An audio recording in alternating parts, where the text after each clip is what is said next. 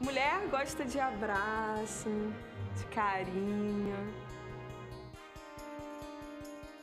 Mulher gosta de ficar bonita.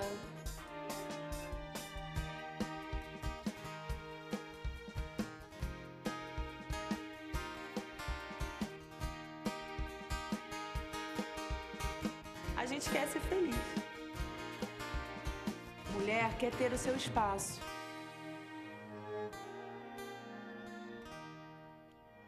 Tarde, mais uma vez estamos aqui na Boas Novas, nesse programa tão especial, que a gente fala de tudo, né? Tem de tudo aqui. Comida deliciosa, com receitas surpreendentes. Nós também temos artesanatos muito especiais, muito bacana para você aí, de repente, ganhar, né? Mais um dinheirinho e abençoar a sua casa. E sempre um bate-papo maravilhoso, que a gente troca informações sobre saúde, moda, comportamento, relacionamento e muito mais.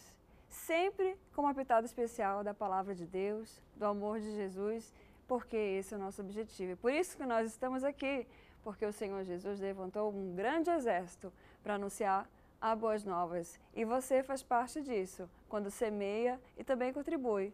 Fora orando também, que nos abençoa muito. Então, ore pela Boas Novas, ore pelo Brasil. Vamos continuar é, proclamando esse amor em nome de Jesus. Que bom que você está aqui e eu já quero anunciar o nosso tema de hoje, que é bem interessante e é sobre saúde, saúde infantil. Vamos falar sobre diabetes. E aí, como é que tá os pequeninos? Como é que tá essa alimentação? O que, que influencia nisso? E é por isso que nós estamos aqui com profissionais. A Daniela Siqueira, que é nutricionista. Tudo bom, Daniela? Tudo bem, bom dia. Obrigada por vir. Deus abençoe e fica à vontade, viu? Para conversar com a gente e passar todas as informações. A Denise Portugal, que é endocrinologista ortomolecular. Tudo bom? Tudo bem, que bom estar aqui, um prazer, obrigada. Obrigada a você. Está retornando já aqui? É a primeira vez de vocês? Sim. Primeira não, vez, Dani? Meu já vim. Já, vi, já, já vieste, né? Lembro de ti.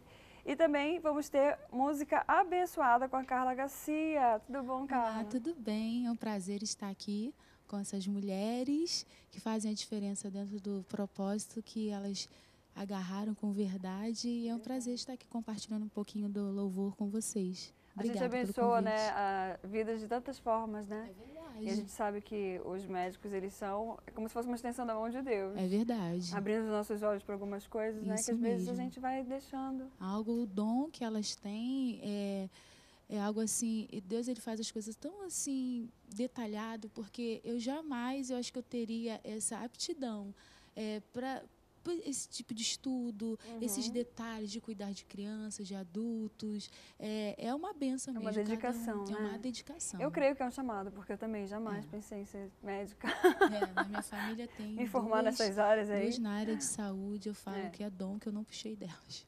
Fala um pouquinho pra gente do teu trabalho. Você vai cantar pra gente Desperta-nos e Por Tua Graça. Isso. É, dentro do que nós estávamos até falando aqui, o Desperta-nos é uma canção que ela foi agregada a esse trabalho justamente para despertar na igreja é, aquilo que, já, que o Senhor colocou no, dentro da pessoa, dentro do propósito para cada um.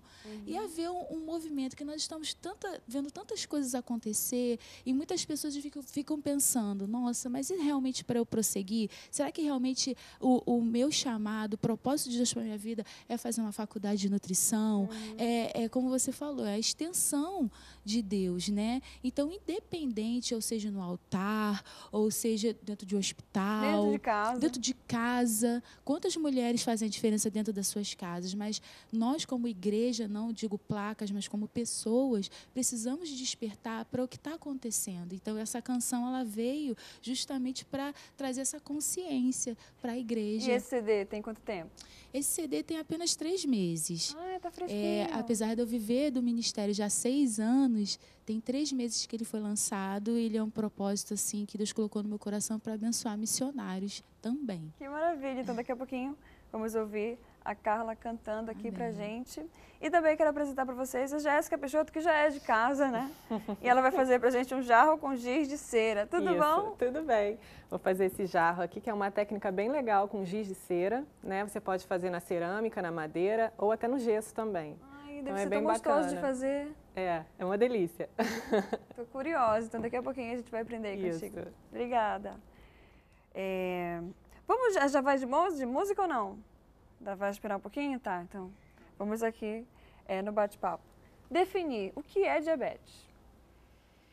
Diabetes é uma desordem que acontece, são dois tipos, diabetes 1 e diabetes 2.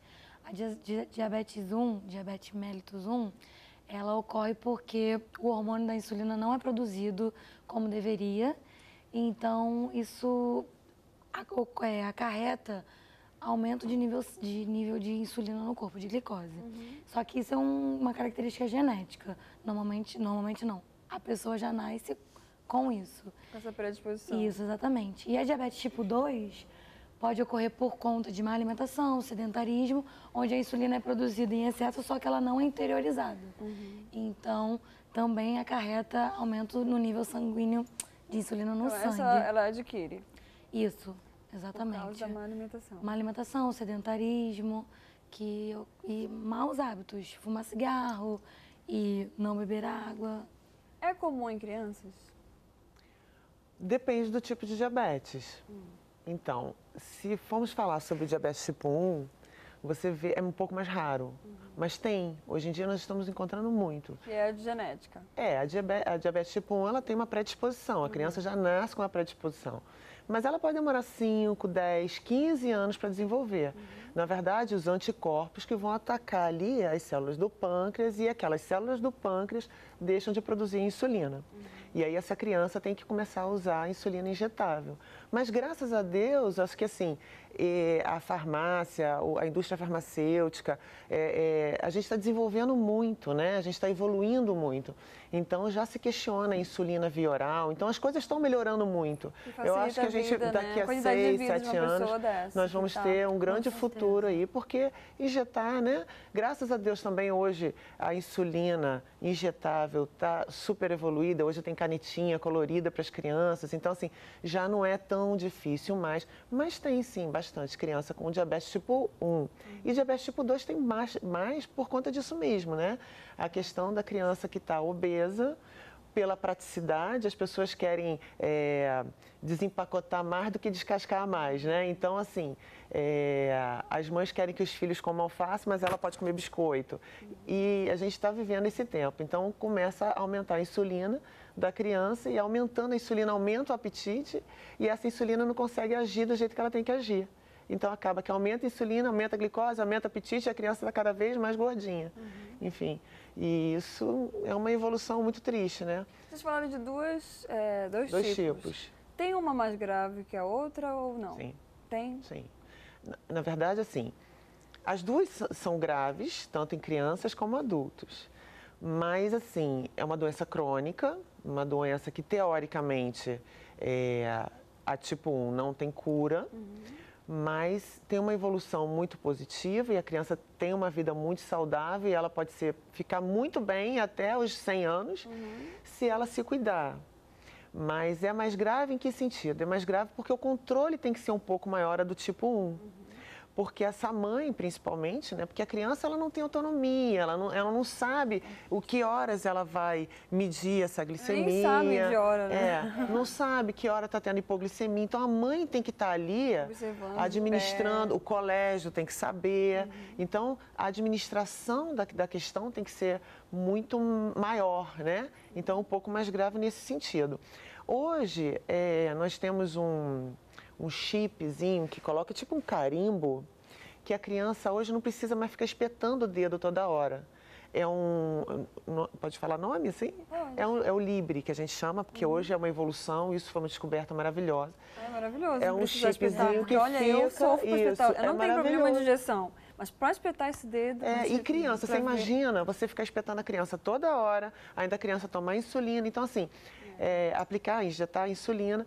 E esse chipzinho é, tem um aparelhinho que passa prim prim prim prim percebe, e ele vai analisando a glicemia da criança. Não, então assim, ah, hoje legal. é muito mais prático. Ainda é muito caro, mas eu acredito que no futuro é um isso caminho, né? vai baratear, porque vão entrar outros laboratórios. Ainda está sob patente, uhum, mas uhum. enfim. E eh, isso vai deixar um pouco mais prático. Mas é mais grave nesse sentido, né? O cuidado tem que ser muito maior. A gente vai voltar e vai conversar sobre tudo isso. Já viu que o bate-papo aqui está interessante. Mas antes disso, eu quero chamar aqui a Carla Garcia para cantar para a gente Desperta-nos.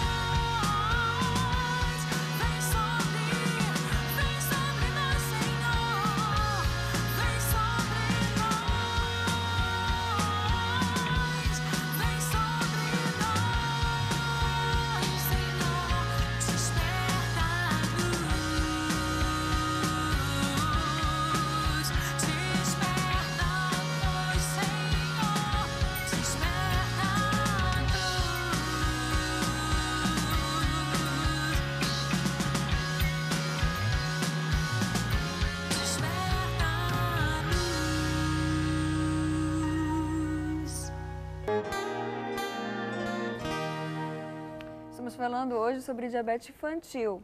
Já demos aqui uma pincelada sobre o que, que é, quais são os tipos, né? E sobre a gravidade delas.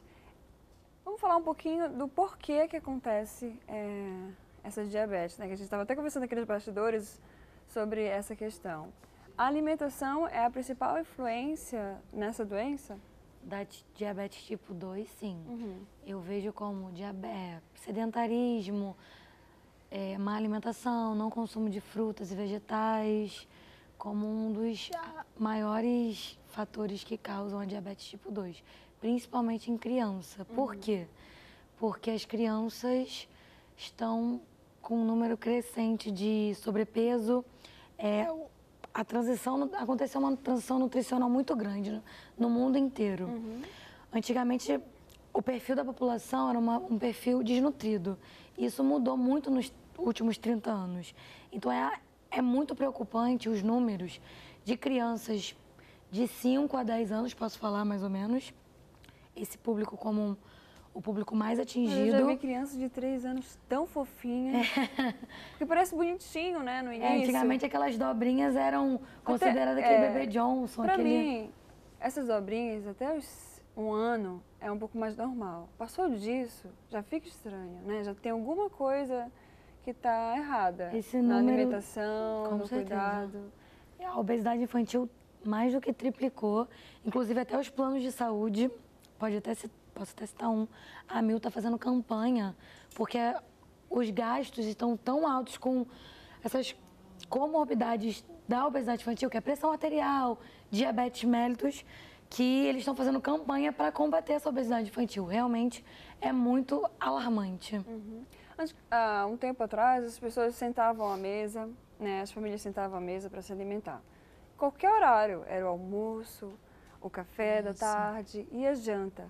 Hoje em dia isso a gente não vê acontecer, né? É, são poucas as famílias que ainda pelo menos almoçam, né? Às vezes até os jantares, estão juntos, mas jantam de qualquer jeito, vendo televisão. Isso. É um fator também que leva as pessoas a comerem mais e comerem pior. A mamãe que ela não vê o filho comendo a quantidade, né? É, ou então tá com prato, pensa que comer um prato talhão de comida é, é o que faz bem, não, tem que ficar forte, tem esses mitos é, também auxiliam nessa alimentação ruim e exagerada, é, muitas é, vezes. É engraçado, eu vejo, uma, eu vejo um tempo muito confuso hoje em dia. Porque hoje a gente tem acesso a tanta informação. Você entra no Instagram, você entra no Facebook, você entra. Enfim, nesses WhatsApp, redes sociais a gente vive compartilhando, todas, né? Eu falei com meu marido, então, agora há assim, pouco compartilhou um vídeo Exatamente. Acesso às informações, eu acho que todos têm. A questão não é assim, o que comer, porque as pessoas sabem o que é bom. Eu acho que as pessoas estão correndo tanto hoje. Mas optam, né? Que é, é, as pessoas estão correndo tanto hoje que fica assim, ah, eu sei que é bom isso, mas não vai dar tempo. Exatamente. Então, come essa lasanha que está congelada e à noite a gente vê o que, que a gente vai fazer. Eu ouço isso muito lá na clínica. Então, assim, eu fico muito assustada quando chega para mim paciente e fala assim, Denise, mas pelo menos duas vezes na semana eu tenho que ir no fast food. Eu, oi? Duas vezes na semana? Então você vê crianças com 11, 9 anos com insulina alta. Existe. Isso é uma coisa que a gente já está dosando muito mais do que dosava 10 anos atrás, vamos dizer. Hoje a gente tem como dosar a insulina até da criança e dosar essa resistência à insulina para saber se ela vai desenvolver ou não a diabetes tipo 2. Mas eu acho que é uma dicotomia, porque hoje as pessoas sabem o que é bom, sabem o que é saudável e não usam porque não tem tempo. É, porque o tempo virou, se tornou o inimigo da própria saúde, é, né? Mas sabe que eu penso? Que se você focar, né, porque as pessoas não estão dando atenção, mas se você colocar o seu olho sobre essa questão e você se planejar, se organizar para isso, não é tão difícil. Eu vejo um outro fator muito determinante também é o fator compensatório. Por exemplo, a mãe está trabalhando, o pai também. Aí chega em casa não vê o filho. Nem sabe lá, o que ele comeu também. 10 né? horas do dia. Normalmente fica com a babá ou com a avó. E aí, ah, eu não fiquei com meu filho o dia inteiro, então, sei lá, ele quer um chocolate. fast food, como um chocolate é um fator muito compensatório. Eu vejo muito isso. Então eu vejo crianças extremamente mimadas até e com má alimentação, e são novas, e têm autonomia, às vezes, até de mais do que o. É, de decisão, até mais do que o próprio pai e mãe. Ah, mas eu quero comer aquilo. Mas como que ele sabe que ele quer comer aquilo? Uhum, uhum. Entendeu?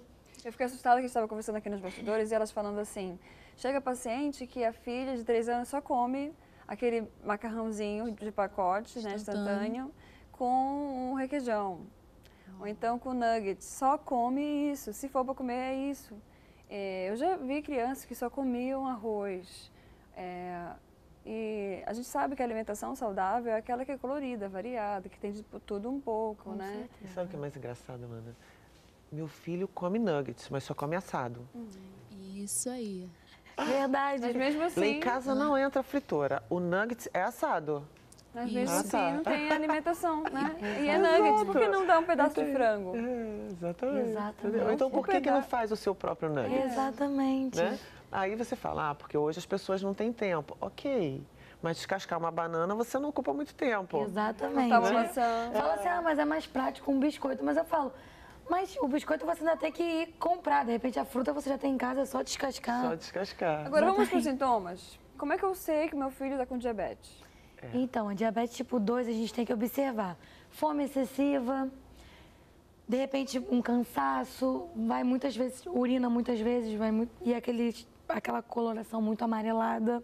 Amarelada é aquela amarelada mais pro laranja? Não, ou... amarelada mais pro amarelo mesmo. Porque eu já vi um amarelo meio tóxico, meio, quase que verde. Mas às vezes é alguma vitamina que está tomando, ah, enfim. Tá. Mas uma Mas é coisa é que tem que tomar muito cuidado, principalmente menino. Uhum. Menino geralmente faz o xixi pinga algumas gotinhas assim do lado de fora, já viu? Quem tem filho menino aqui? É. Eu. Você tem menino? Tem, tem menino? Então, às vezes pinga umas gotinhas assim do lado de fora. O diabético, açúcar chama o quê? Formiguinha. Hum. Você vai ver se a criança tá com a glicemia aumentada quando tem formiguinha em volta do vaso. Nossa, isso eu nunca tinha visto é, falar. Uma pergunta para as doutoras. É, na minha família, é, é, um tempo atrás, a minha avó desenvolveu a diabetes, um tempo, bastante tempo. E, um dos, e falaram que foi por conta da. É, foi emocional. Isso é verídico ou a pessoa já tem mesmo a, a diabetes por conta de algum pico emocional? Ela é, foi... é, na verdade, ela pode ter uma predisposição a ter Sim. diabetes. E aí ela desenvolveu diabetes tipo 1. É isso? Ela tomou insulina. Isso. Isso, porque aí Sempre você gera, aumenta o número de anticorpo que ataca as células do pâncreas. Entendi. Ah, por isso que as pessoas falam, ah, eu tenho um diabetes emocional. emocional. Isso aí que falam. É, é verdade e não, entende? Porque assim, as doenças autoimunes, elas podem ser, pode ser um gatilho, um choque emocional. Sim. O hipotiroidismo, diabetes tipo 1. Aí sim, por quê? Porque é uma doença autoimune. Entendeu? Então Entendi. pode ter sido um gatilho que desenvolveu a questão do anticorpo que atacou esse que pâncreas, atacou. entendeu? Entendi. Agora eu queria saber de vocês, como é que eu consigo... É, tem mais alguns sintomas que vocês querem tem. descrever? A criança acorda à noite para urinar, uhum. ela pode ter muita fome, uhum. muita sede, boca uhum. seca, né? Coceira no corpo, formigamento nos formigamento pés, nos pés uhum. cãibra. Pode até ter lacrimejamento nos olhos, tem casos piores, né? Essa criança precisa é, ser gordinha, como a gente fala? Não. não. Está com sobrepeso? Não. A diabetes 2 ela é muito silenciosa, se não... mas se já tiver esses três sintomas, não com certeza, mas é bom fazer um teste de glicose pelo sangue para ver, verificar a glicose e a glicemia. Como eu consigo identificar que é um ou é dois? Então, a dois normalmente vocês já vão ter alguns fatores sintomas clínicos, né, subclínicos, e se a glicemia estiver acima de 200 miligramas por decilitro. E a diabetes tipo 1, normalmente, quando uma avó, uma mãe, a gente já, já faz tem. uma história E a questão familiar. hoje está muito prática, porque hoje você tem a dosagem da insulina. E tem, são marcadores também no sangue que você tem que consegue te dizer se é tipo 1 ou tipo 2. Quando você tem insulina, Claro que não é tipo 1, porque tipo 1 não produz insulina. Então pronto, tá bem okay? claro, né? Quando tem insulina aumentada, opa, a insulina está aumentada, então, mas ela não tem ação. Então é diabetes tipo 2, hum. entendeu? A diabetes tipo 1 não tem. Então a gente tem marcadores sanguíneos que provam isso pra gente. Uhum. Como a diabetes ela pode interferir no cotidiano da criança, é, na vida né, comum dela? Então, eu acho que por um todo, porque a criança normalmente é sedentária e aí ela vai ter que tomar remédio oral, normalmente, ou às vezes até subcutâneo. Então, isso interfere é. um pouco, limita. É, a, a, diabetes tipo 1, ela limita um pouco mais. Uhum. Mas, assim, criança, a criança é uma esponja. Ela absorve o que é bom, absorve o que é ruim. Então, se isso for passado de uma forma positiva para ela, ela vai entender aquilo. Eu tenho várias crianças lá que levam numa botinha, olha, comprei a canetinha nova. E a caneta é linda, decorada, a caneta de insulina. Uhum.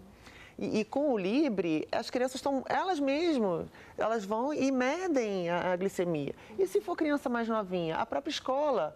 Então, assim, tudo é uma adaptação familiar. É claro, a família tem que estar muito junto dela.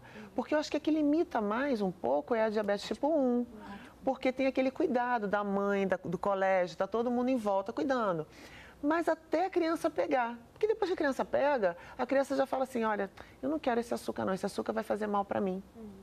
Então, assim, você já vai vendo que a criança vai se ajustando, porque ela absorve o que é bom também. Com certeza. Né?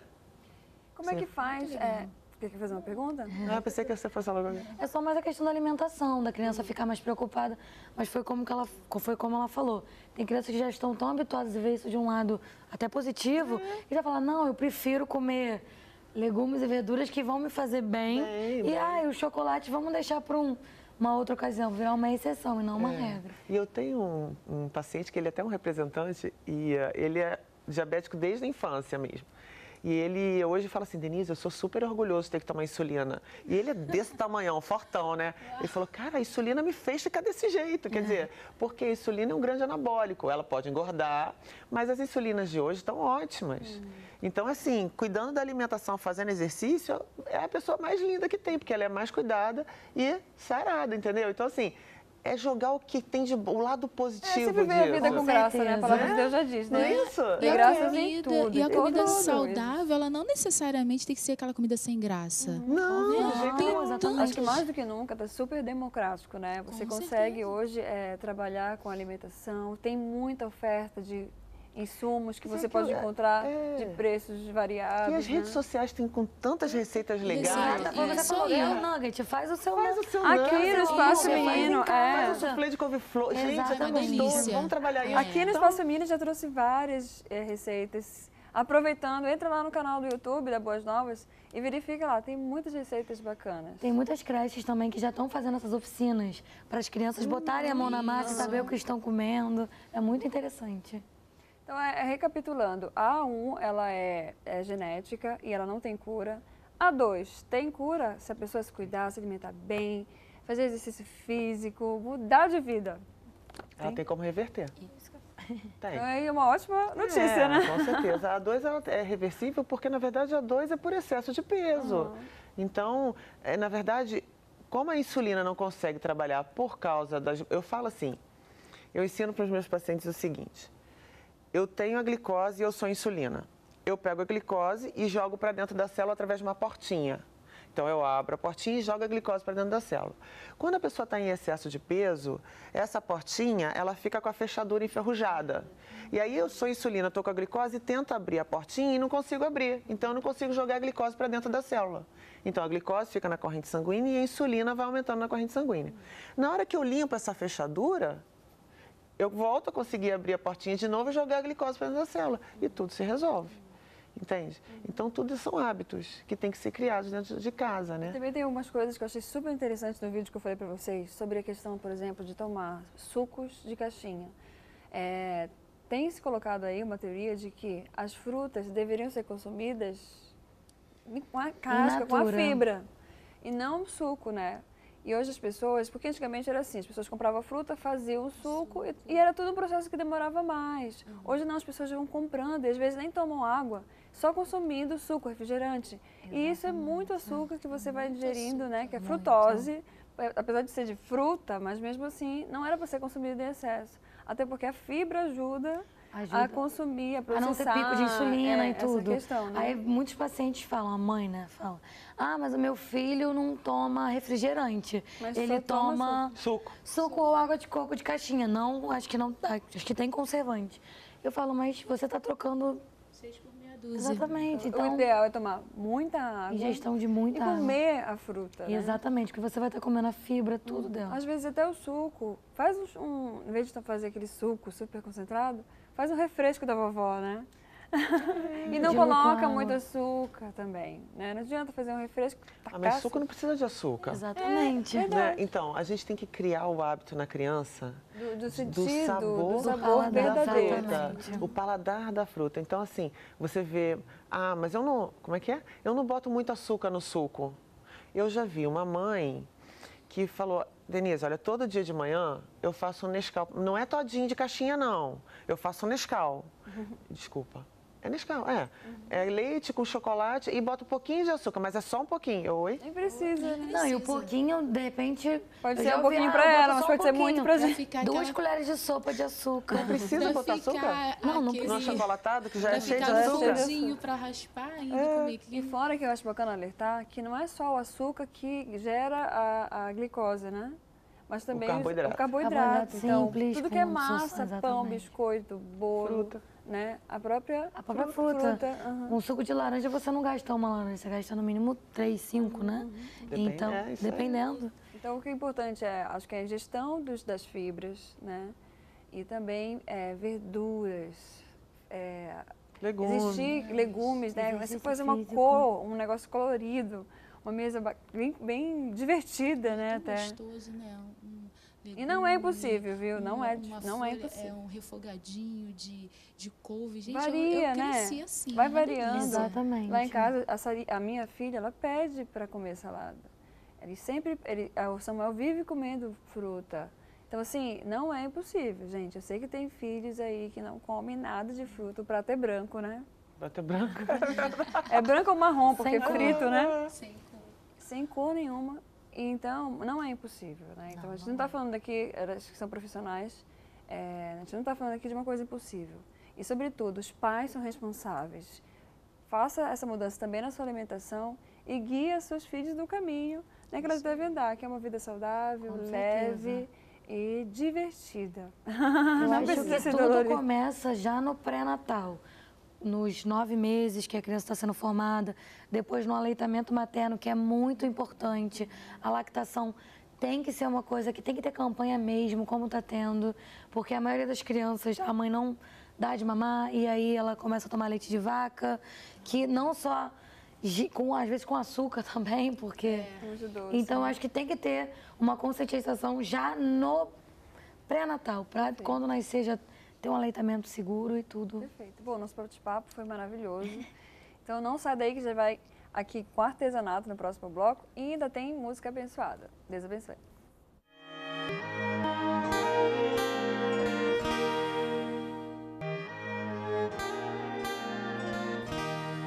Agora chegou a hora divertida de aprender artesanato aqui com a Jéssica Peixoto. Já estou aqui com um vaso na minha frente, uma caixinha, É. tudo cru, Isso, é para mostrar o que a gente pode fazer. que né? é o trabalho que você vai mostrar pra gente hoje com o giz de cera. De cera. Aqui eu fiz na cerâmica, tá? Mas aí você pode fazer numa caixinha de madeira, na madeira. Pode fazer também no gesso, que eu vou mostrar, tá bom? Esse aqui eu fiz na cerâmica. Então, na cerâmica ou na caixinha de madeira, você tem que passar a tinta branca antes, tá? Eu trouxe aqui no gesso, como o gesso já é branquinho, não precisa. Gente, Tá a bom? Jéssica, ela sempre traz artesanatos super diferentes pra gente. E ela já é de casa. Eu queria até te convidar, entra lá no nosso, no nosso, no nosso site, não. Lá no canal do YouTube, porque tem muita coisa bacana Tem, da tem, Jéssica. eu tenho canal. E aproveita e entra no, no, no Instagram dela, no É, Facebook no meu Instagram também. também. tem muita coisa. Facebook, tem canal? Tenho canal no YouTube também. Ah, olha, vale a pena. Isso, Você que está aí procurando dicas. né, uma forma bacana de ganhar dinheiro extra, ela tem muita coisa bacana, super recomendo, tá? Então vamos lá para os nossos lá. materiais, para a gente poder aprender essa técnica bem interessante. Isso. Vamos lá. Aqui eu vou mostrar tem então. Vai material passar a tela cartelinha? para a gente ler? Pode colocar para gente? Isso aí. Vamos lá. É, nós vamos precisar de pincel, tinta branca, giz de cera, nanquim, palha de aço, verniz acrílico, tá? Aqui, ali no caso eu botei a tinta branca porque no caso para fazer a, a madeira ou a cerâmica. Tá. Aqui no gesso não precisa. Não precisa, porque já é branquinho. Já é branquinho, tá bom? Então vamos lá. Aqui a gente vai começar com o giz. Engraçado ó. que você fala que Eu tem que colocar comecei, tinta tá? branca, mas a gente vê o fundo preto. A gente nunca imagina que tem uma é, tinta branca é, aí. porque aí depois você vai ver o processo todo. Tá. Ó, você vai ver como é que vai ficar. Aqui eu comecei com essa cor, ó. Então a gente vai fazer como se estivesse pintando mesmo, com giz, né? No papel. Sim, né? toda criança, Você pode né? fazer pode... o desenho que quiser. Eu tô Traz fazendo a criança também para fazer. Isso. É ótimo, ó. Não precisa perfeição, tá, gente? Pode brincar só com duas cores, você pode, é, trabalhou pode com várias cores né? também, tá? Uhum. Agora deixa eu ir para outra aqui, vamos para... Qualquer giz de cera funciona? Porque a gente sabe que sim, tem tantos sim, aí no é, mercado. tem tantos, né? Tá. Pode qualquer um. Então é bacana essa, essa, esse artesanato, porque a gente que tem criança em casa, a gente pega e vive cheio de restinho de cera. Isso, né? é, pra quem Às tem vezes filho, a gente joga fora né? porque fica ali sem usar. Mas é. olha que ideia bacana para é. você usar aqueles restinhos de cera. Tem até outras maneiras, né? Hoje em dia, a gente, pela internet, a gente acha várias técnicas também, né? Eu já vi também derretendo giz, é. você pode fazer várias coisas também.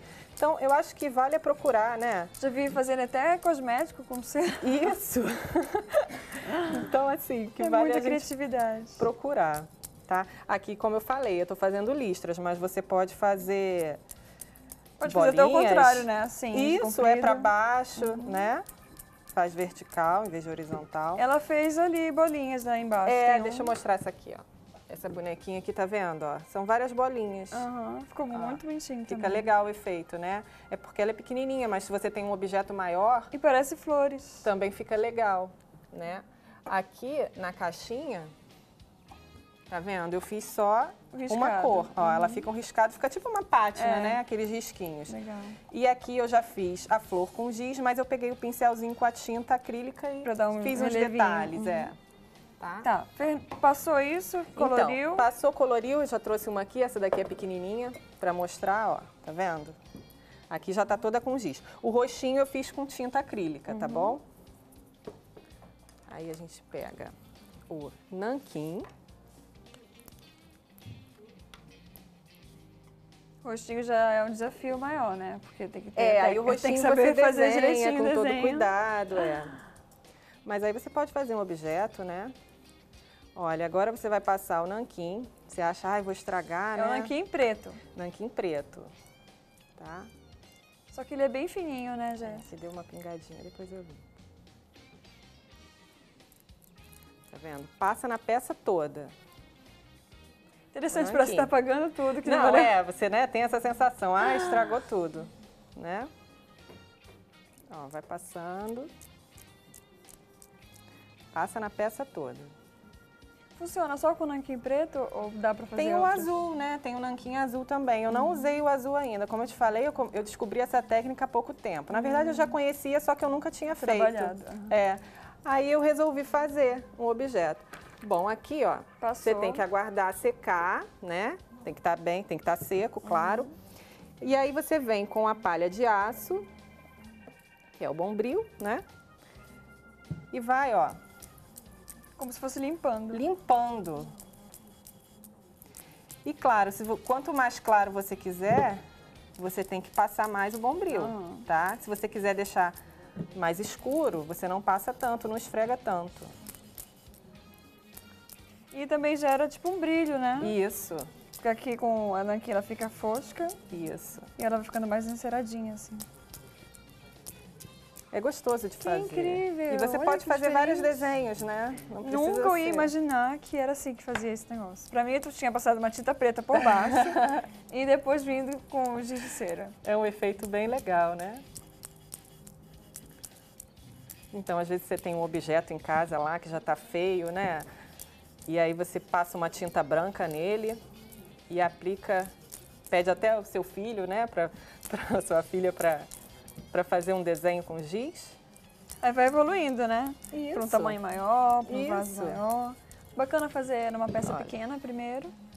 É, vai, vai treinando, né? Faz numa pequena, depois passa para uma maior. Mas... E é muito livre, né? É, não tem erro. Você faz as formas que você quiser faz quadrados, retângulos. É, aí você vai da sua criatividade, uhum. até um desenho mesmo. Uma mandala, uma flor. É bem prático. Aí depois que você lixar uhum. tudo, você vem com verniz, que eu uso faz verniz. Uma sujeirinha na mão. Gente. É, é. Isso, aí, isso faz. Eu não vou passar nesse daqui porque eu não acabei de lixar. Esse daqui, essa daqui Aqui eu não também passei. Fica, né? É, fica. É bom botar um papelzinho embaixo, né? Mas depois passando um paninho.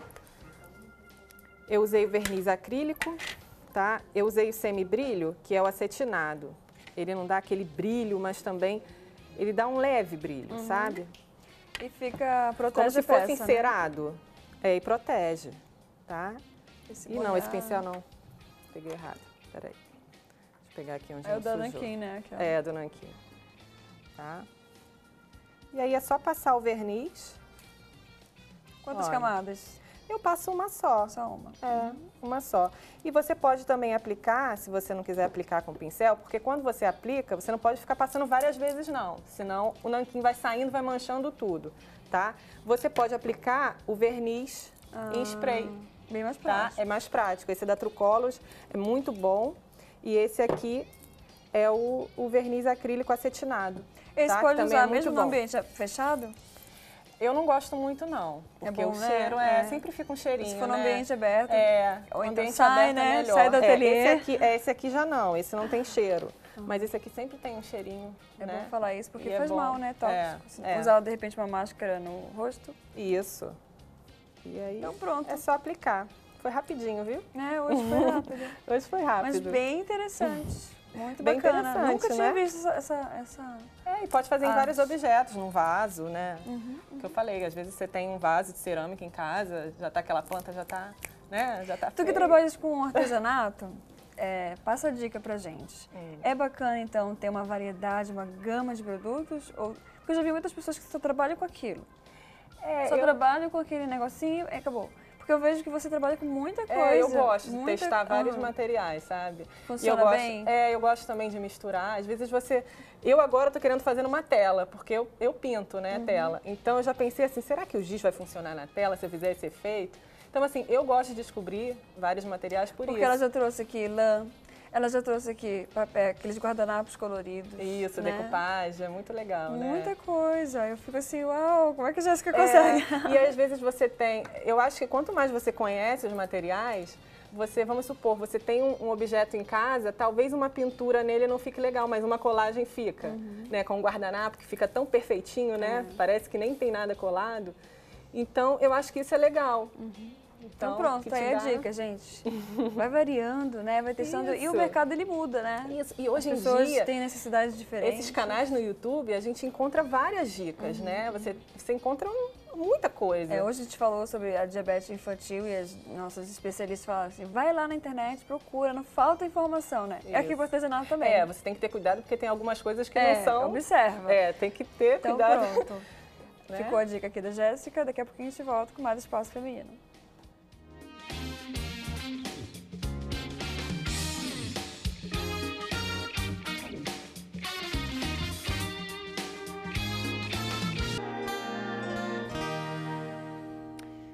Infelizmente chegou o nosso último bloco. Como passa voando esse programa, principalmente quando tem assim, né, esses temas bem interessantes. E a gente falou hoje sobre diabetes infantil. Fizemos aqui agora há pouco o artesanato, né, com a Jéssica Peixoto, super interessante. E eu quero já agradecer aos nossos parceiros. Estou vestindo hoje, como você pode ver, uma roupa bem romântica, super feminina, aqui com essa renda, um bordado. É, tem aqui a, a- como é que chama? Os babados. Eu acho super feminino, né? Estou aqui com essa blusa florida, azul. E tudo isso é lá da Teodora Veste. Você que está em São José dos Campos, é bem pertinho, pega aí os contatos, tá? Mas ela também faz, envia para todo o Brasil. Tá aqui, ó. Ficou bem feminino, né? A gente, tem, a gente tem que se cuidar, né? Eu quero agradecer ao cuidado e o carinho da Lu, lá da Teodora Vertes. E também da Fairuz. Fairuz, eles, a gente trabalha com, eles são parceiros, elas são parceiras e a gente trabalha sempre compondo bem, assim, ó, para a roupa que eu vou usar. Elas olham a pulseira dourada, cheia de detalhe, um anel com pedras, são semi-joias, ainda tem o brinco, ó. É um conjuntinho, fica super lindo, feminino. Muito obrigada também a Fairuz. Então, entra lá no Instagram deles, entra lá no Facebook e conheça as peças. Tem peças modernas, tem peças românticas, tem peças mais hippies, para todo tipo de gosto. Deus abençoe. Meninas, quero agradecer a participação de vocês também. Obrigada, Daniela Siqueira, que veio aqui como é nutricionista e passou aqui todas as dicas. É, você que perdeu esse programa, gente, você tem que ver de novo, tá? Vai lá no nosso canal no YouTube e assista. Também quero agradecer a Denise Portugal, que é endocrinologista, ortomolecular. Obrigada, foi muito Obrigada importante essa participação também. Sem dúvida nenhuma, aprendemos muito, né, Carla? a Carla e a Jéssica, que estava escondidinha ali, né? aprendemos muito, vamos colocar em prática, né? Obrigada, Carla, também por essa participação. Eu que agradeço. Vai cantar agora Prazer, no finalzinho do nosso programa. E também a Jéssica, por sempre trazer esses artesanatos super Obrigada. criativos. e sempre, sim, muito fácil de fazer, né? A gente olhando não consegue desvendar os mistérios. É. Mas você ensinando, ela ensina tão bem e a gente vai aprendendo. E aí você vai desenvolvendo também as suas técnicas, né? Porque também é, eu creio que o artesanato é isso, né? É uma coisa muito pessoal, é peça única. Né? Ninguém tem nenhuma igual. E a técnica está aí, né? A gente pode usar em várias coisas, não só, no caso, no vaso de cerâmica tem uma técnica, você pode usar numa tela, em outra coisa. Então, eu acho que isso que é legal, é aprender a técnica. É. Depois você decide onde faz, né? Tu sempre traz assim, um objeto, né? Mas, de repente, aquela técnica dá para fazer um brinco, uma pulseira, Isso, né? É, eu acho que vale é criar, né? Essa técnica mesmo, eu acho que dá para fazer naquelas pulseiras de madeira, tipo bracelete. Pois é, aí, tá vendo? Né? Mais uma tá ideia. É, bem coloridinho. Muito obrigada pela presença obrigada. de vocês, tá? Quero mandar um beijo para você que está em casa. Entra lá no nosso site. Lá no nosso site você vai conhecer toda a programação da Boas Novas. Você também pode, através do site, se tornar um semeador da Boas Novas. É só você fazer ali o um cadastro e aí se tornar um semeador. Qualquer dificuldade, liga para cá para a gente e se torne um semeador da Boas Novas. O semeador da Boas Novas é aquele que oferta com o que puder, um real por dia que seja, e sobretudo com a sua oração. Entra no nosso Facebook, no Instagram, tá? E aí compartilha com os teus amigos, com as tuas amigas, com toda a família, que o Espaço Feminino é um programa para todo mundo e está no ar sempre aqui às 16 horas, de segunda a sexta. E na internet fica para sempre, tá bom? Vamos de boa música então agora? Vamos. Grande beijo para você. Um vamos lá, Carla Garcia cantando Por, Por Tua, tua graça. graça.